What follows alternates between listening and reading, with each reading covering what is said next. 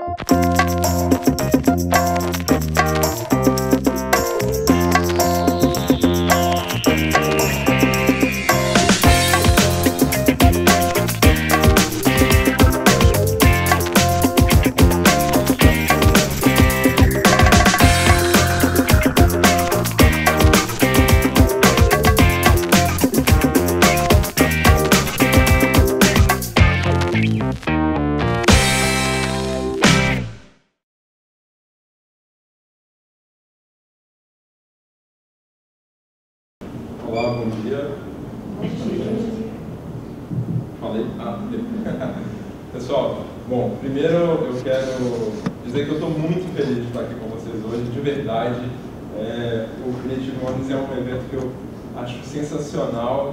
Desde, desde a criação, a gente estava conversando antes, né, Diego? A Miss, que é a, a idealizadora, que começou com o sonho dela, eu acompanho o trabalho dela há bastante tempo já, e desde que ela criou, eu achei o evento muito legal. Quando os meninos trouxeram para o BH, eu falei, cara, esse evento é o que o BH realmente precisa, né, além de várias outras coisas. Então, dito isso, eu quero agradecer também ao Diego, ao Leandro e ao Pedro pela, pelo convite, pela oportunidade, ao espaço, todo mundo que é faz parte dessa iniciativa, pela oportunidade de estar aqui. Outra coisa é realmente falar a respeito desse tema, né? Estou muito feliz também por isso, porque falar sobre, sobre educação nesse contexto de criatividade, Belo Horizonte, do que a gente acredita, do nosso sonho também, né? Porque o Curral hoje, ele nada mais é do que o, do que o, nosso sonho, o meu sonho, o sonho do, do Sérgio, que era meu sócio até, um pouco, até pouco tempo atrás, fazer com que isso aconteça para a gente também é uma alegria. Compartilhar um pouco do que a gente acredita com vocês é uma oportunidade bem legal. Bom, eu não vou falar muito a respeito do curral, eu acabei pensando que a gente pode aproveitar o tempo para vocês, talvez a gente compartilhar aquilo que faz parte do pensamento do curral, como é que a gente pensa as coisas, por que, que a gente faz as coisas do jeito que a gente faz, e o que, que a gente acredita. E aí, se vocês quiserem depois, alguém pode, a gente pode fazer uma jogada ensaiada, que aí no final, quando abrir para perguntas, alguém levanta a mão espontaneamente e pergunta assim, Tiago, vocês estão prevendo alguma coisa para o ano que vem? E aí a vai falar, ótima pergunta. Então, combinado, se vocês quiserem, a gente pode fazer assim. Olha só, é, para falar de educação, eu não acredito que seja possível falar do tema sem falar do começo, né, da infância. Como que a gente fala a respeito de um tema como esse, sem falar de onde ela é básica, né, de onde ela realmente faz muito sentido na vida das pessoas? Na hora que a gente, quando a gente é pequeno, né, quando a gente é criança, a educação está exatamente em todos os detalhes. E aí, eu vou pedir licença aqui, minha esposa que está aqui na frente, na verdade, ela poderia falar de educação mais do que eu, talvez, porque ela é educadora infantil, dá aula para crianças de dois anos. E há poucas semanas atrás ela estava me contando uma história de uma, de uma aluna dela, que elas estavam ensaiando uma música, eles estavam cantando uma música, na verdade, de Natal. E aí, todo mundo conhece, né, essa época do ano, é, aquela musiquinha que fala, como é que o Papai Noel não se esquece de ninguém, seja rico, seja pobre, velhinho sempre vem. Bom, ela estava cantando essa música com, com os alunos dela, e fazendo gestinhos, né? E ela como é que o Papai Noel não se esquece de ninguém, seja rico, seja pobre. E a aluna dela, dois anos, gente, virou. Nessa parte da música ela faz assim, seja rico, seja pobre. aí ela virou pra aluna e falou assim, não, mas peraí, por que, que pobre é assim, rico é assim? Ela, ah, minha mãe me ensinou assim. Aí ela, não, mas pobre pode ser diferente, é só, você pode fazer assim e assim, porque não precisa ser só assim, né? Por isso que eu tô falando. De repente, foi aí que na educação, né, na história dessa criança, ela aprendeu ser pobre não é ser assim, né? não é ser triste, não é ser para baixo. E isso faz, é um detalhe que faz diferença mesmo na vida. Por isso que eu falei, bom, para começar a falar de educação, eu vou precisar falar mesmo de infância. Aí, gente, eu vou começar falando um pouco da minha infância, porque aí eu, eu acredito que é como a gente pode fazer, faz sentido a gente olhar para trás e entender como é que a gente comporta hoje, como isso está completamente linkado, relacionado com o que aconteceu lá atrás na nossa vida. Se vocês fizerem esse exercício com vocês, garanto que vocês vão conseguir fazer isso também. Talvez economize aí alguns, alguns anos de terapia, né? Bom, quando eu tinha um ano, meu pai morreu. E eu, na verdade, não me lembro muito bem do meu pai. Ele, na verdade, eu me lembro do meu pai por uma foto 3x4 que ficava guardada na gaveta da minha mãe. Sem, sem ela saber, eu consultava essas, essa foto de vez em quando para me lembrar de quem que era meu pai. Na verdade, uma outra lembrança que eu tenho do meu pai é, são três objetos que decoravam a nossa casa: um prato, um elefante verde e uma pirâmide. Meu pai trabalhava viajando e esses três objetos ele trouxe do Iraque. Eu não sei porquê, se foi por isso, talvez tenha sido, toda vez que eu ouvia falar em Iraque, eu tinha uma curiosidade extra para entender a respeito desse lugar. Em 1991, eu tinha 5 anos, precisa fazer as contas, né? Eu tenho 28. É, em 1991, essa imagem aí foi bem marcante para mim, porque era o que eu via na televisão várias vezes por dia e me interessava bastante, né? Era o ano da Guerra do Golfo e essa imagem verde aí com mísseis cruzando os céus do Iraque é, me impactava muito. Sempre fui muito curioso e assistia jornal com 5 anos de idade. Com 10 anos eu pedi para minha mãe trocar minha assinatura de revista da Turma da Mônica por revista Isto É. Eu acordava cedo no domingo de manhã para assistir pequenas empresas, grandes negócios. Que criança louca, né? Que faz uma coisa dessas. Bom, é, isso para mim hoje explica muita coisa. Explica a curiosidade que eu tenho em relação às coisas. Eu quero saber, eu, eu amo, eu sou apaixonado por informação. E isso faz muito sentido na minha vida. Então eu consigo fazer uma ponte entre isso do meu passado, esse, esse aspecto da minha, da minha infância e aquilo que eu faço hoje, aquilo que eu acredito. Quando eu tinha seis anos, eu queria ter uma loja de cortinas. Quando eu contei isso num, num evento há pouco tempo atrás, para pessoas que tavam, são responsáveis por capacitar, na verdade não, eles ensinam empreendedorismo para crianças e adolescentes, as pessoas riram, todo mundo, eram mais de 400 pessoas e elas riram. Eu falei assim, gente, vocês estão rindo? E todas as pessoas, todos os adultos à minha volta também riam quando eu contava que eu queria ter uma loja de cortinas. E o legal que aconteceu foi que no final do evento, uma pessoa chegou para mim, uma senhora chegou para mim e falou assim, Tiago, você tem uma loja de cortinas. com o que você faz hoje, o conhecimento que você leva para as pessoas, nada mais é do que abrir as cortinas de coisas que as pessoas não conhecem. Eu falei, caramba, ela me economizou uns anos de terapia também e me fez descobrir por que eu queria ter uma loja de cortinas e eu me realizei, não, não preciso ter mais uma loja de cortinas de verdade. E o terceiro ali é porque eu me lembro mais ou menos quando eu tinha sete anos, minha mãe sozinha, ela tinha que, com quatro filhos, ela tinha que, que se desdobrar para conseguir criar a gente, né? E ela trabalhava no hospital, no pronto-socorro, e nos horários que ela não estava fazendo plantão, ela fazia encomenda de salgadinho, assim, quem já foi nos cursos do Curral conhece minha mãe, quem sempre tem que falar dela, né? Minha mãe hoje ela cozinha por hobby, total prazer. Ela fala assim, Tiago, sou fornecedora exclusiva do Curral. E ela que faz todos os nossos lanches. É uma história bem, bem engraçada, mas, é, enfim. Minha mãe ela fazia muita coisa para fora e eu gostava muito quando ela fazia pão. Até hoje eu gosto quando minha mãe faz pão. E eu olhava para o pão e achava aquele negócio genial, porque eu via, ela mexia um pouco na massa, deixava a massa descansando e fazia aquele negócio crescer. Eu falava, mãe, mas como que essa massa cresce? Ela, não, isso é fermento. E eu, caramba, fermento é uma coisa muito legal, né? Porque, na verdade, não é o que dá o gosto, não é o que faz, a, faz o pão ser, ter a aparência que ele tem, mas é o que faz o pão crescer, é o que faz ele ser pão.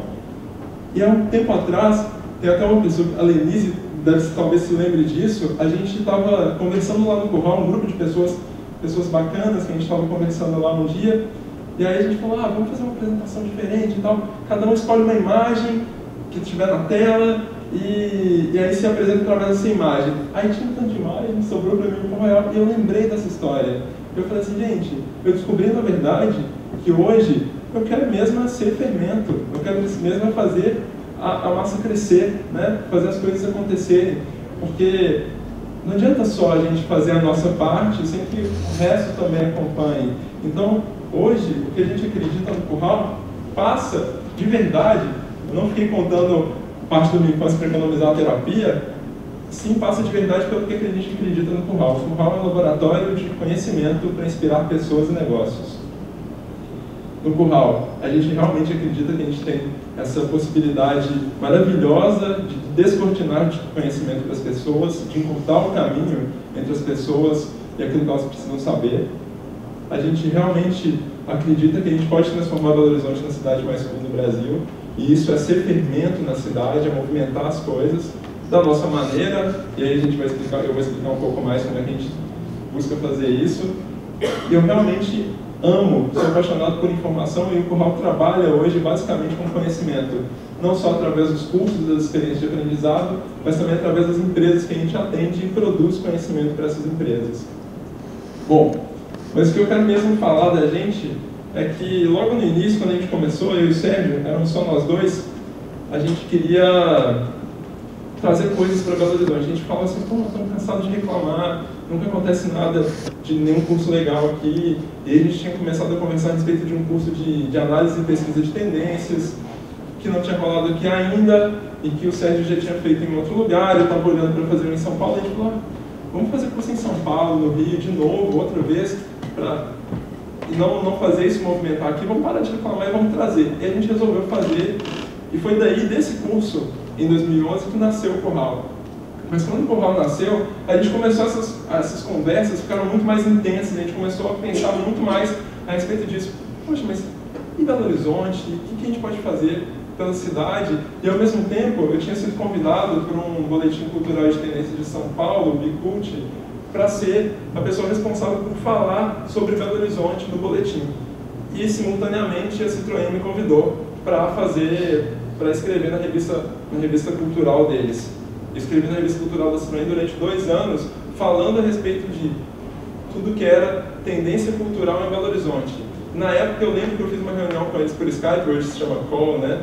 Fiz uma reunião com eles por Skype que eles me perguntaram assim, mas Thiago, você tem certeza dá para falar sobre Belo Horizonte, você vai ter assunto para falar sobre coisas novas e bacanas que acontecem em Belo Horizonte, toda semana, todo mês. Falei, gente, ainda deu uma de super entendido. Falei assim, olha, se fosse há cinco anos atrás, eu não falaria isso com vocês, não. Mas hoje, eu acho que acontece muita coisa em Belo Horizonte e a gente precisa desse tipo de coisa. Porque em Belo Horizonte a gente tem um problema muito diferente de São Paulo. Enquanto em São Paulo vocês realmente precisam de um filtro da informação, porque acontece muita coisa, vocês não sabem para onde ir, em Belo Horizonte, a informação precisa sair dos lugares que elas estão acontecendo. Ela precisa chegar em outras pessoas. As coisas acontecem aqui. O problema que todo mundo aqui nessa sala já deve ter vivido é não ter tido acesso à informação no tempo que ela aconteceu. Ah, você sempre fica sabendo daquele show bacana que você queria ter ido no dia seguinte. Você sempre fica, fica sabendo da exposição quando ela acaba. Isso acontece muito aqui porque a gente estava até comentando logo antes de começar que muitas vezes por um comportamento nosso, meio mineiro, de ah não, vou te falar, mas não conta pra ninguém, não tipo um bloco de carnaval, né? A gente manda e-mail e fala assim, só não fala para mais pessoas, senão vai encher muito. Aí a gente reproduz esse comportamento no nosso dia a dia em relação a qualquer coisa. A gente vai num bar novo e não fala para muitas pessoas, a gente só fala para os brothers, porque aí eles vão também junto com a gente e as pessoas não ficam sabendo logo, o lugar não enche. Mas o lugar depende de outras pessoas para acontecer, né? Por isso a informação precisa circular.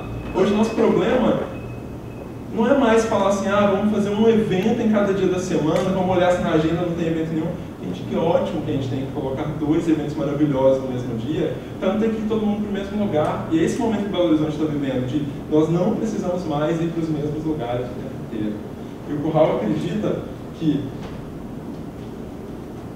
o Rio já tem uma vocação muito bem definida, maravilhosa, né?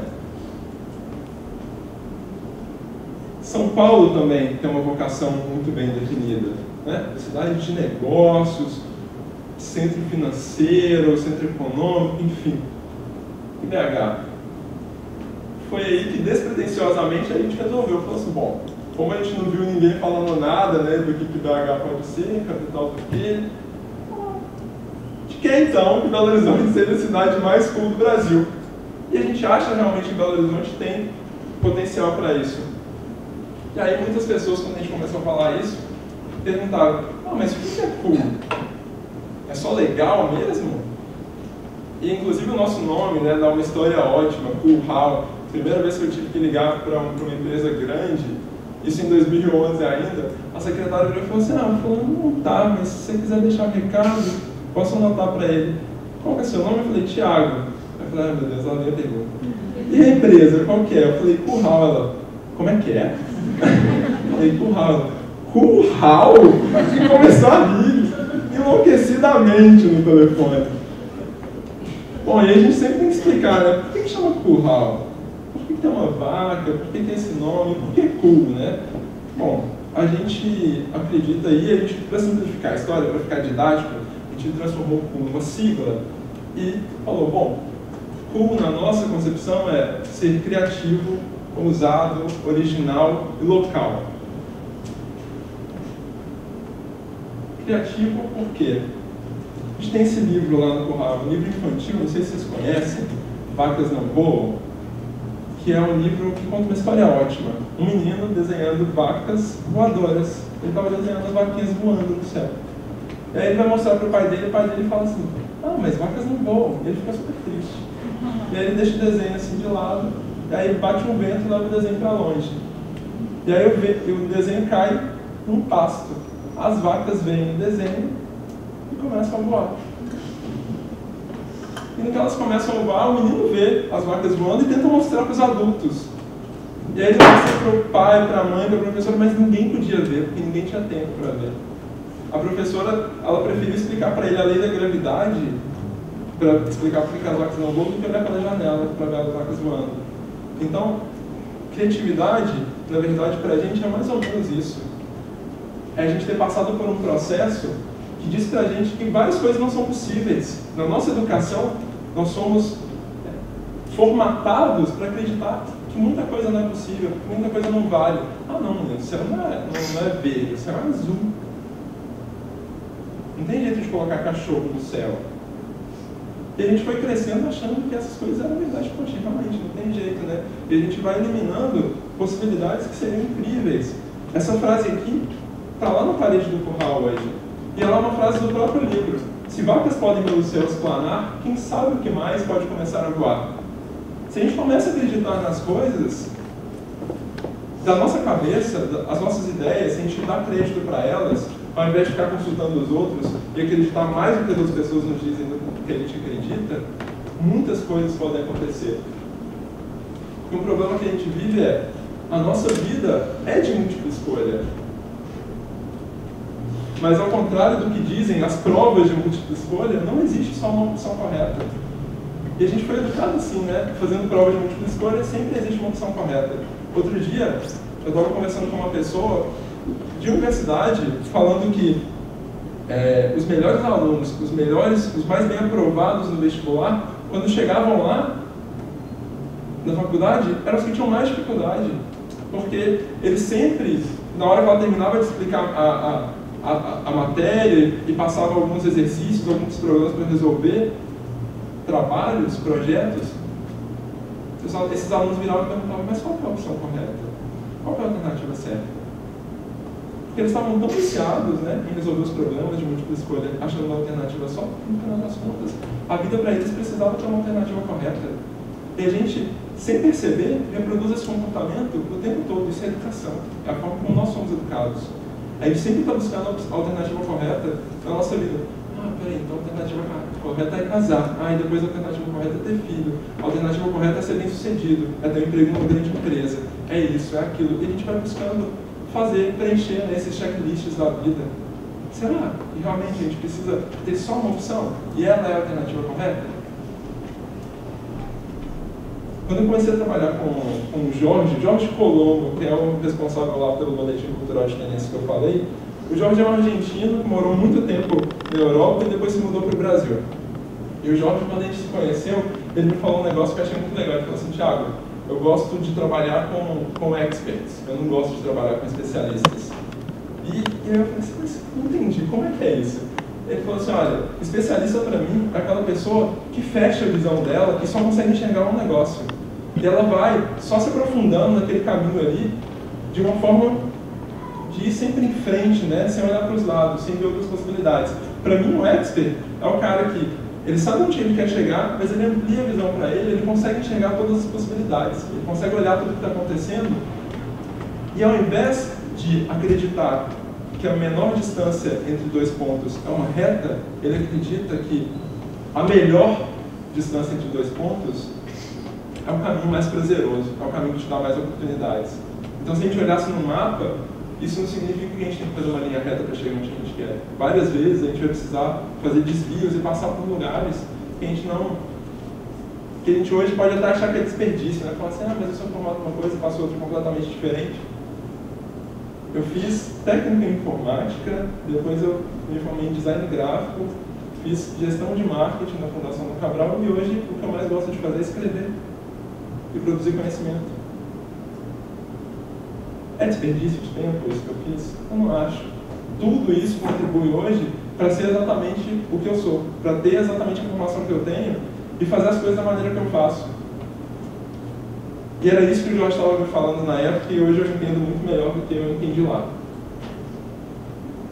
Para ser cool, precisa ser usado. E, gente, vou contar um segredo para vocês. Toda vez que alguém fala em pensar fora da caixa, morre um panda bebê. Sério, os meninos que trabalham, o pessoal que trabalha comigo no curral sabe, eu odeio essa expressão.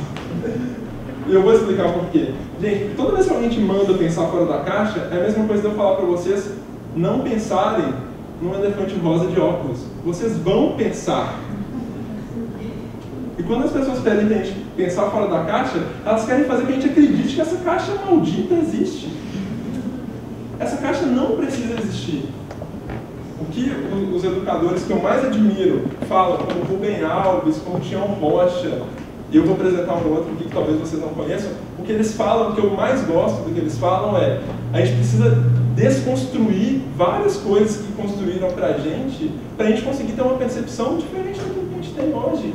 Então, se a gente acha que a gente pode ter um caminho mais livre, a primeira coisa é parar de pensar nesse maldito nessa caixa. Porque ela começa a te ditar regras. Você começa a pensar assim, ah, então existem regras, então existe uma caixa, então eu preciso pensar fora dela. Você pode pensar de uma maneira nova. E para gente, para vocês verem que nós podemos aprender boas coisas através do Facebook, eu coloquei essa frase aqui que eu li na minha timeline de uma, de uma pessoa que eu conheço que escreveu isso algumas semanas atrás. E uma frase que desde lá eu tenho repetido várias vezes. Eu peguei a frase para mim e falei, gente, essa frase é a frase, minha frase do momento. É essa. Que é você acreditar, ousar, é acreditar nisso aí. Você pular, a ponte vai aparecer. E a gente sabe quando a gente está sendo ousado. As empresas sabem quando estão sendo ousadas. E quando você está sendo ousado, dá aquela sensaçãozinha, aquele, aquele friozinho na, na barriga de vai dar merda. E a gente pensa isso apesar de estar tá fazendo tudo certo. Você está fazendo tudo legal, tudo direitinho, e mesmo assim você continua aquele frio na barriga de vai dar merda. Se isso acontece, gente, que ótimo. Porque sinal de que a gente está fazendo uma coisa realmente nova, realmente diferente do que tem sido feito. E isso é muito bom. Porque a gente ainda vive numa cultura das pessoas sempre te perguntarem ah, mas isso aconteceu com o Curral várias vezes na nossa história. A gente chegar em pessoas para pedir ajuda, para pedir apoio, para pedir patrocínio, seja para eventos como o TEDx, para outros eventos que a gente fez aí durante a nossa história, e as pessoas viraram para a gente e falaram, ah, mas quem patrocinou antes? Ah, mas quem fez antes? Ah, gente, ninguém fez. A gente está fazendo agora. E se você não acredita, ninguém mais vai acreditar também. Por isso que eu gosto da frase, pula, a ponte vai aparecer. para ser culto também precisa ser original. E eu gosto muito dessa, desse mapa aqui. Esse mapa está no site, no site do, do Richard Florida, que fala sobre a ascensão das cidades criativas, das classes criativas, desculpa. E esse mapa aqui aponta para a gente as regiões do, dos Estados Unidos em que as pessoas estão mais abertas às experiências, a novas experiências coincidentemente, e não por acaso, são exatamente as regiões e cidades norte-americanas mais inovadoras, que estão na lista das mais inovadoras do mundo. Então, quando nós somos originais, isso é, fazemos uma coisa pela primeira vez, estamos abertos a experimentar coisas novas, a gente faz as coisas de uma maneira mais criativa. Mas acreditar nisso não é uma coisa muito fácil, não. E eu gosto muito desse videozinho aqui, que foi utilizado numa palestra do TED para explicar como é que esse lance da originalidade é difícil.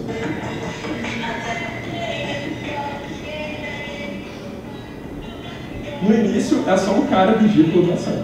Né? Para a maioria de nós, quando ele fala assim, nossa, o que esse cara está fazendo? Bom, seria se não fosse esse cara aí, que vai dançar junto com ele. Esse cara que faz o negócio acontecer. Se eu estivesse falando sozinho, querendo transformar Belo na cidade mais pura do Brasil até hoje, seria ridículo. Mas a partir do momento que aparecem outras pessoas e esse segundo cara, de uma maneira genial, começa a chamar outras pessoas, é que o movimento realmente acontece. Porque eles ainda passam por um momento ali difícil, né? De estamos sozinhos ainda, mas está tudo bem, eles interagem entre eles e dão força, né? ensinam para o outro os passinhos novos que eles estão fazendo, e beleza, até que vem mais um. E todos eles sendo muito originais, mas ao mesmo tempo compartilhando a originalidade e a ousadia, né? De fazer de forma diferente. Ah, tem gente se identificando aí, né? Nossa. Eu pensei em fazer isso, eu não tive coragem, né? Só que o negócio começa a ganhar força. E na hora que ganha força, vira um movimento de verdade. E as pessoas começam a se interessar por aquilo. É isso que a gente acredita que pode ser feito. A gente pode começar uma coisa nova e outras pessoas começar a acreditar junto com a gente. A lógica é essa, né, gente? Ou a gente copia ou a gente é copiado. E se a gente for copiado por coisas legais, originais e criativas que a gente fizer? Essa é uma proposta que a gente, que a gente acredita quando a gente fala de cool e quando a gente fala de BH. Final das contas, todo mundo da festa levanta. E é legal que tem o último, não vou passar todo porque ele é um pouco mais longo, mas vocês podem ver depois lá no TED. O legal é que no finalzinho das contas tem umas duas pessoas que continuam sentadas, e aí de repente elas olham, tá todo mundo em pé dançando loucamente, e elas se olham assim, tipo, dá um. Opa, só a gente que tá aqui. Nós é que estamos fora agora, né? e vão para lá e dançam também. E para ser cool, também, a gente acredita que precisa ser local. E para falar de local, e o tema que a gente está falando hoje é educação, eu queria falar de local mostrando exemplos de coisas legais, locais, incríveis, que às vezes acontecem e que a gente não sabe, que a gente pode valorizar. Como, por exemplo, três educadores mineiros que talvez poucos de nós conheçam. Esse aí é o Tião Rocha. O Tião Rocha ele foi professor do UFOP até 1984. Em 1984 ele sai do UFOP porque ele acredita numa educação muito diferente do modelo que ele está vivendo. E aí ele vai para Curvelo e abre o Centro Popular de Cultura e Desenvolvimento. Quando ele faz esse, quando ele cria essa escola lá, esse centro, ele elimina a sala de aula, ele faz, ele cria um sistema de aprendizado em roda em que as pessoas olham nos olhos uma das outras. Ele pega a cultura popular local incorpora na educação. Os meninos aprendem a aprendem, são alfabetizados com biscoitos em forma de letras que são feitos pelas mães deles. E ele é considerado hoje um dos, um dos educadores mais inovadores do mundo no nosso século. Rubem Alves dispensa comentários e apresentações, né? Rubem Alves, psicanalista, educador, teólogo, eu gosto muito do que ele, do que ele fala, principalmente em relação que a educação alegre, a educação tem que trazer alegria, ele fala que a educação tem que ser sinônimo de felicidade, e é muito diferente do que a gente tem vivenciado hoje em termos de educação na maioria dos lugares, né? A educação não, não nos torna alegres ainda, nos torna talvez tristes. E por último, talvez o mais desconhecido entre eles, e o que para mim é o mais legal de ter visto e ter conhecido mais de perto, é esse cara aí que é o Eurípides Barçanufo. O Eurípides, ele é um educador do início do século XX de Sacramento, uma cidade no interior de Minas Gerais. E olha como é que eu consegui enxergar o Eurípides com outros olhos. Foi quando eu, vi, eu li uma entrevista do José Pacheco, fundador da Escola da Ponte de Portugal, considerado hoje um dos exemplos de, de, de educação mais inovadoras do mundo também. E na hora que o José Pacheco estava dando uma entrevista perguntando para ele, ah, mas quais que você considera que são as boas referências para a gente seguir hoje no mundo em termos de educação? E ele falou assim, olha, vocês no Brasil são privilegiados, vocês não precisam seguir nenhuma das múmias da educação no mundo. Vocês não precisam seguir Vygotsky, não precisam seguir nenhum desses caras. Vocês podem olhar para um cara que chama Eurípides Barçanufo, que para mim é o maior exemplo de educação inovadora do século XX. Gente, um dos caras hoje que, são, que é considerado referência na educação no mundo nos diz que, para ele, a referência, a maior referência de educação do século XX é um cara que fez algo lá no início do século XX no interior de Minas Gerais. Isso é a gente olhar com outros olhos para aquilo que a gente tem e a gente começar a acreditar que a gente tem coisas muito boas acontecendo aqui que talvez a gente só desconheça, só não sabe que elas estão acontecendo. O Eurípides ele foi inovador em várias coisas. Uma delas é que na época não existia educação conjunta de mulheres e homens. Ele começou a fazer isso na escola dele.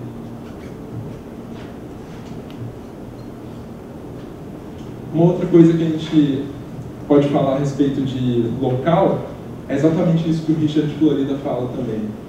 Que, apesar de todo o benefício que a gente tem hoje estar conectado com o mundo todo e que as distâncias foram muito encurtadas, a presença física ela é insubstituível. E ela é insubstituível porque colaboração, interação são elementos fundamentais, são elementos necessários à criatividade e à inovação a gente consegue colaborar e interagir quando a gente está perto.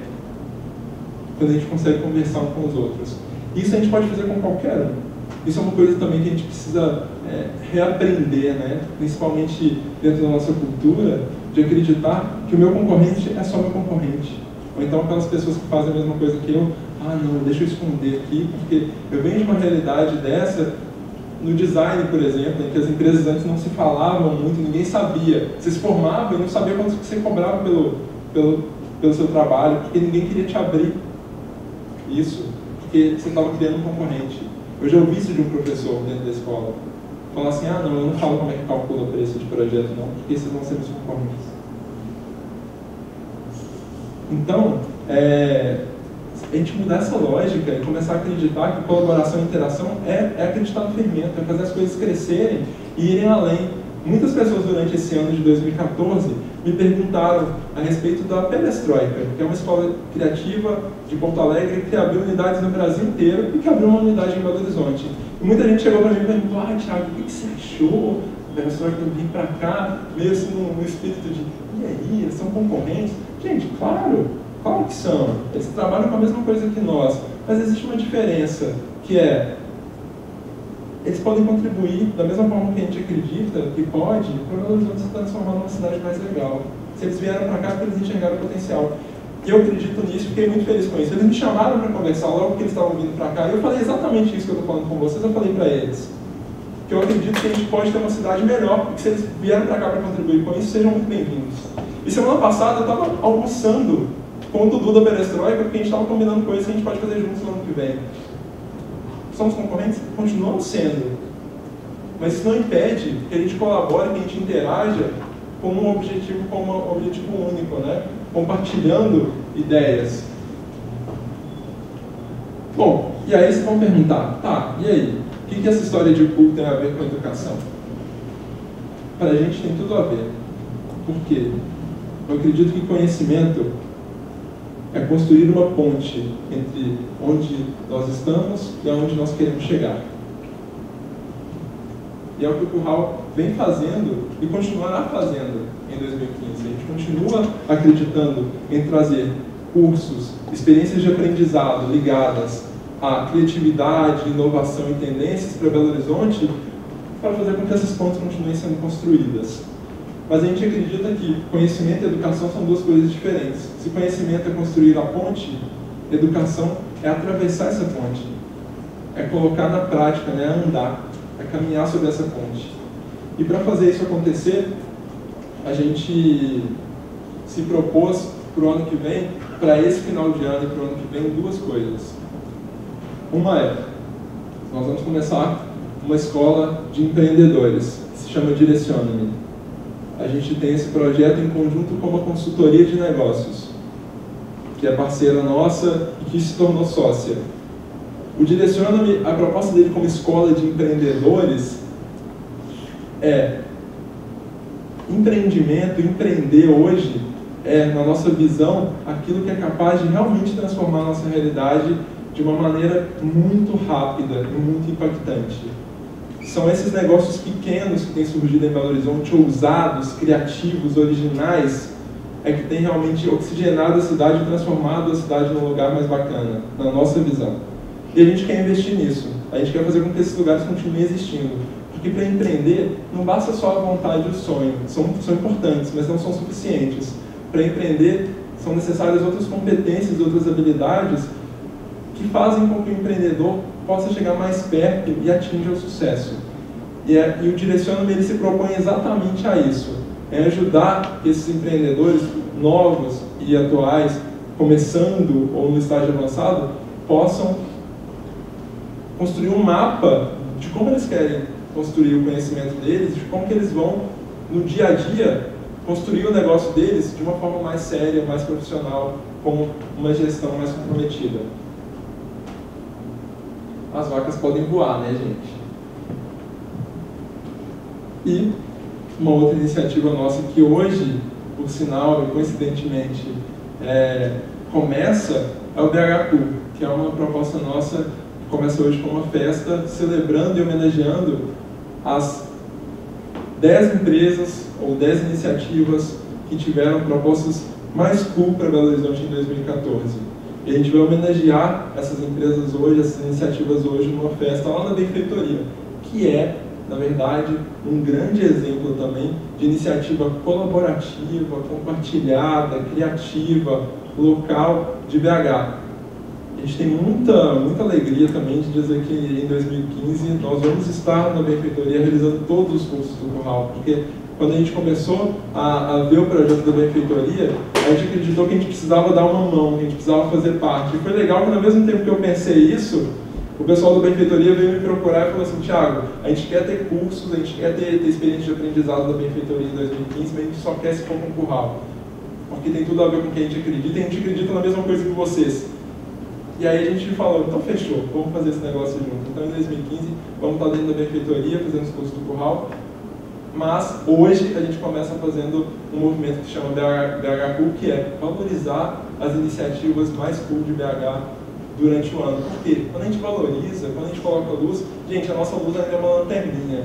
Quem sabe um dia a gente vira um holofote gigante, né? Para iluminar essas propostas e dar luz para elas mesmas, destacá-las de forma que elas consigam continuar existindo, como a gente viu ali. Se a gente vê uma pessoa igual aquele cara lá do vídeo, se a gente tiver uma pessoa começando uma dancinha diferente, essa pessoa, na verdade, pode ser uma iniciativa, um projeto na Praça da Liberdade, pode ser um empreendimento novo. Se a gente vê isso e achar legal, vamos lá e vamos, e vamos contar para outras pessoas, vamos chamar outras pessoas para o movimento crescer e para isso continuar existindo. Se vocês acreditam nessa proposta, que a gente acredita, vamos fazer isso junto. Porque a gente não quer mais transformar Belo Horizonte na cidade mais cool do Brasil. Nós vamos transformar Belo Horizonte na cidade mais cool do Brasil. E a gente não vai fazer isso sozinho. Isso não é uma proposta só do Curral, é uma proposta minha, é uma proposta nossa, de todos nós juntos. Muito obrigado. É isso.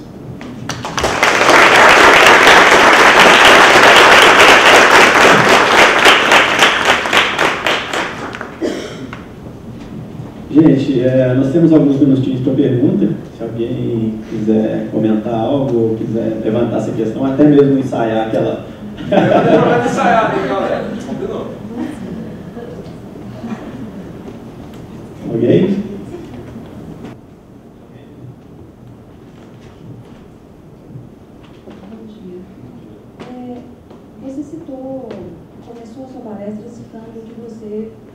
viveu na sua infância, né? E como a infância ela de certa forma, determina o adulto, determina o que a gente vai ser no futuro. E eu sinto uma atividade, um, é um problema, eu tenho filho e é um problema que assim, eu percebo muito, é que a educação formal, ela meio que cerceia as crianças. Então, às vezes, você tem uma criança criativa que ela leva uma, uma proposta para a escola e aí ela volta meio frustrada porque a mãe não deu, porque não pode fazer assim, porque X e Y, né? Qual que é, na sua opinião, qual que é o, que, que a gente pode fazer? A gente que está na convivência em casa. Porque às vezes você não pode simplesmente mudar de escola, acontece. Sim. Infelizmente. Existem escolas boas no BH também que cultuam também essa parte criativa, originalidade e tudo mais. Mas a grande maioria é tradicional e é, talvez, sei lá, careta. Então, qual seria a sua, sua conselho? É, bacana porque outro dia eu estava conversando com uma pessoa e ele me falou assim, nossa, Thiago, arrumei um problema na escola do meu filho, porque eu fiquei falando com meu filho lá em casa que tudo é muito relativo, e aí meu filho chegou na escola e a professora colocou no quadro 2 mais 2. Aí todo mundo respondeu 4, aí meu filho levantou a mão e falou assim, não, professora, depende. e aí a professora tentou entender o que tinha acontecido e chegou à culpa do pai. Então me chamou, a professora chamou ele da escola para questionar. Você está falando com seu filho que 2 mais 2 depende tem que ser quatro, vamos combinar aqui. E o que acontece com, com, com, com as crianças, né, nossos filhos hoje, é exatamente aquela história do, da caixa. Muitas vezes elas estão lá na escola e a, a escola está tá fazendo elas acreditarem que existe uma caixa. O que a gente pode fazer como, como pais, né, é ajudá-las a desconstruir essa caixa. É, tá, filho, se lá na escola não pode, vem cá, vamos lá. Se te falaram que só pode desenhar céu azul, então desenho diferente. Vamos desenhar junto? Olha só, você não precisa ser azul não, vamos colorir o céu de rosa, vamos colorir de todas as cores que você quiser, vamos, vamos desenhar uma vaca voando. É a gente fazer a nossa parte também para não confiar 100% na educação à escola, né? Porque a escola também tem lá as dificuldades, às vezes a professora quer fazer de uma maneira diferente, mas ela está dentro de um sistema, igual você falou, que é muito tradicional não permite que tenha uma educação diferente. A professora tem uma visão construtivista, mas a escola não está ligada nisso, não quer que seja dessa maneira, mas aí a gente faz a nossa parte, que é olhar para o nosso filho e ajudar ele a não se localizar dentro dessa maldita dessa caixa. Tiago, eu queria saber assim, o que você está achando da posição de BH em relação a essa coisa de cidades criativas, empreendedores criativos, né? Que a gente está agora num, num, novo lance, de economia criativa, colaborativa, acho que estão surgindo várias iniciativas na cidade em relação a isso, mas é, BH ainda está assim florescendo, né? A gente vê Curitiba, Distrito Criativo, Porto Alegre, com pós nessas áreas também, né? O que você acha daqui? Como é que a gente está no, no perfil de BH nessa área? Como é que é seu nome? Eliana. Eliana, eu acho que Belo Horizonte está muito bem, de verdade. E aí quando a gente olha para outras cidades, é um exercício bom de fazer. Quando a gente tiver um amigo, alguém que a gente conhece de outra cidade em Belo Horizonte, pergunta o que ela achou da cidade.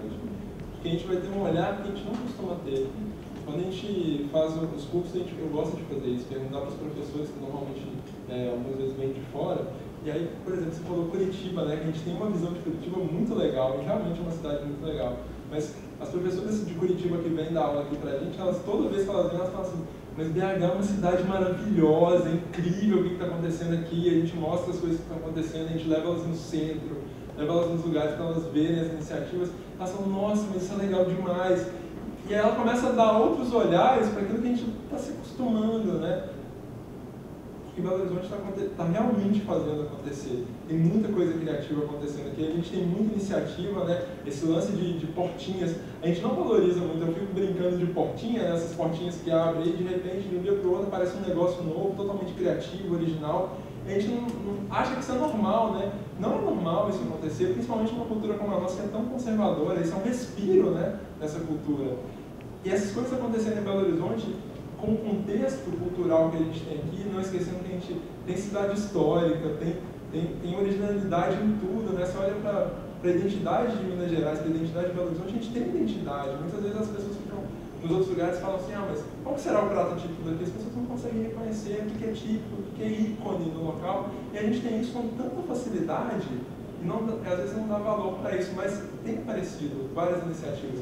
Uma coisa que eu enxergo, que eu percebo que é o próximo passo que a gente precisa dar, exatamente na profissionalização. Não é que as pessoas não sejam profissionais, mas para a gente tornar esses negócios, esses empreendimentos mais profissionais no, no caminho da gestão, para que eles continuem aparecendo e continuem dando retorno para as pessoas. Porque tem muita gente que ainda hoje fecha um negócio que era legal, e toda vez que fecha um negócio, gente criativa em Belo Horizonte, eu falo com vocês de verdade, de coração eu morro um pouquinho, me dói mesmo, de verdade. Toda vez que eu vejo um lugar que era muito legal fechando. Porque aí na hora que você vai conversar com a pessoa, normalmente é problema de gestão. O negócio estava mal estruturado, eles não tiveram condição. Nós que somos criativos, que viemos da área criativa, temos uma dificuldade com a parte de, de números, né, de, de Excel, e a gente enlouquece com aquele negócio. Eu, quando eu fiz, quando eu fiz pós na, na Fundação do Cabral, eu falei assim, lá gente podia escolher algumas disciplinas de outras áreas. A minha coisa era marketing, eu podia escolher de outras áreas. Eu falei, gente, por questão de honra, eu vou pegar uma matéria em finanças. Porque era um negócio que para mim era assustador, era muito difícil.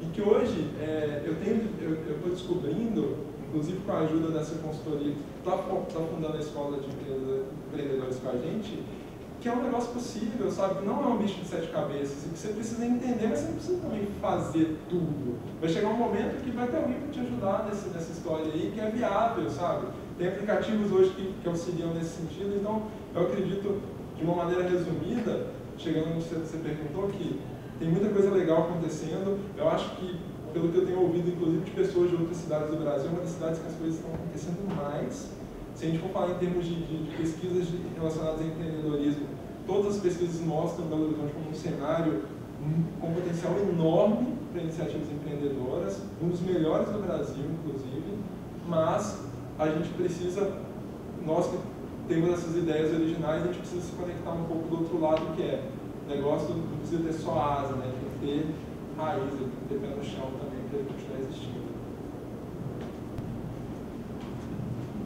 Gente, muito obrigado mesmo, de verdade. Gostei demais.